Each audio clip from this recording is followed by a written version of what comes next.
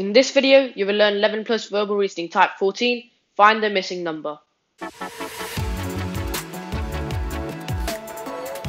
Welcome to another video. If this is your first time here and you want to master 11 plus exam techniques to land in your dream grammar school, start right now by subscribing and clicking on the bell so you don't miss anything. In this type of questions, the numbers in the third pair must be related to each other just like the numbers in the first two pairs. So in other words, the two outside numbers, you'll have to do something to them to get the middle number. And once you found that out, you're going to see whether that works for the second pair. And if it does, you can apply it to the third pair to find your answer. Now, let's get started with this question. The trick with these questions is to look at the middle number. And if the middle number is larger than the two outside numbers, then the question has something to do with addition or multiplication. If the middle number, however, is smaller than the two outside numbers, then the question has something to do with subtraction or division. In our case, the middle number is larger than the two outside numbers, then it means we'll have to do either addition or multiplication. So we have 6 and 2 outside.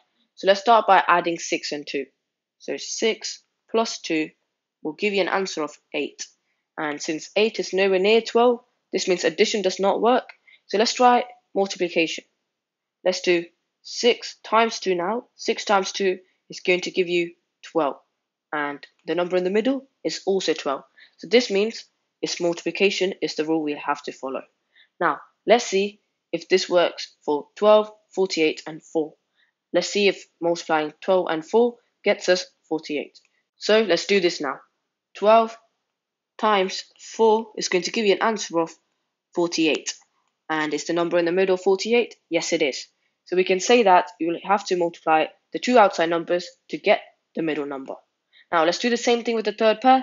Let's multiply 8 and 7. 8 times 7 is going to give you an answer of 56. So this means the number that goes in the middle for the third pair is 56. I hope you guys understood everything so far. Now let's go on to the next one. Let's have a look at this question. Let's have a look at the middle number. The middle number is smaller than the two outside numbers, so this means our question either has to do with subtraction or division. So let's subtract first. Let's do 36 minus 12. 36 minus 12 is going to give you 24. Now, 24 is nowhere near 6, so let's try division now.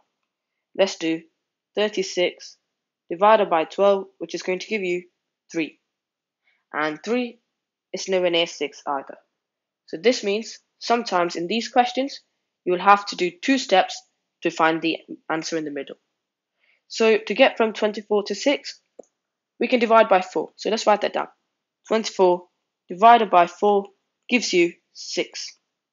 And to get from 3 to 6, we can times by 2. So 3 times 2 gives you 6. So one of these steps is the right one to find the number in the middle. So it's either the one that you have to subtract the two numbers and then divide by 4 or divide the two numbers and then multiply by 2. So let's have a look at the second pair to determine which one of the rules is right. So let's start by subtracting 45 minus 9. So that's the first thing we're going to do. 45 minus 9 is going to give you an answer of 36. To get from 36 to 10, we'll have to take away 26. 36 minus 26 gives you 10. So now we can confirm that this rule does not work because if you subtract the two numbers, then you will have to divide by 4. But in this case, after subtracting, we had to take away 26. So this means subtraction does not work. So let's move on to division now. Let's do 45 divided by 9 first. 45 divided by 9 is going to give you an answer of 5 and then to get from 5 to 10, we need to times by 2. So 5 times 2 is going to give you 10. And if you look at the rule, you'll have to divide the both numbers. Then you'll have to times by 2 to get the number in the middle.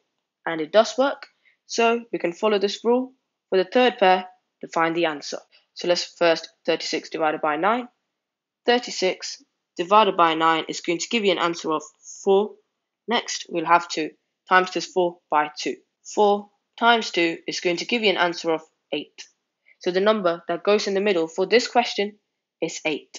So I hope you guys understood everything.